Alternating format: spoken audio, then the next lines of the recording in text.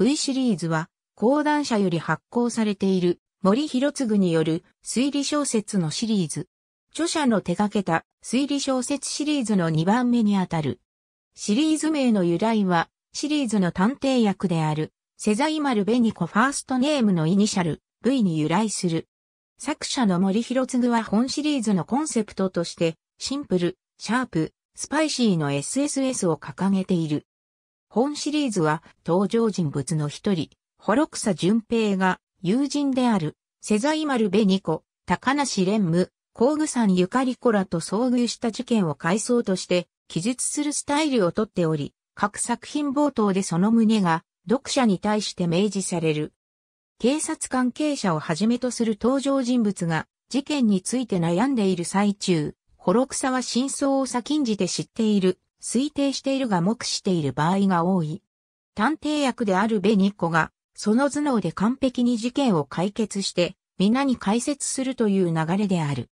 登場人物の心理の揺れや関係性の変化が目立つ装飾が多くなされているが、その分、小説としての構造やトリックはオーソドックスなものに意識的になされている。また設定の斬新さ、得意性が特徴の一つとされる S& M シリーズと対照的に、暗部神のアパートで生活する登場人物、資産家の大学教授、秘書地や豪華客船で起こる事件、などレトロな印象を与える設定が散見される。2015年2月、セザイマルベニコの事件簿黒猫の三角のタイトルで、フジテレビ系列の赤と黒の劇場枠でテレビドラマ化された。シリーズは以下の10作品から構成されている。作品同士に関連のない S&M シリーズとは違い、本シリーズでは作品と作品につながりが見られ、単独でも物語は成立しているが順番に読み進めた方が物語の流れをより理解できる。G シリーズではこの形式が全般に反映されている。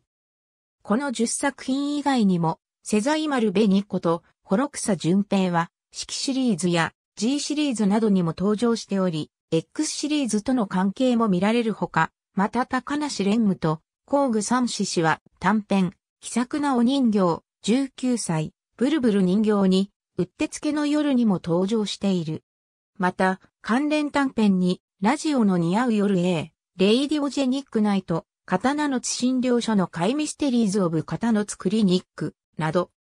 黒猫の三角人形式モナリザ月は、ユーノドのデバイス夢、出会い、魔性魔剣天正連連連邦の演習6人の超音波科学者ヨジレ屋敷のリドンクチル、チルオチル、赤力黒白シリーズ一作目である黒猫の三角は、光明月の作画で2002年に漫画化がされている。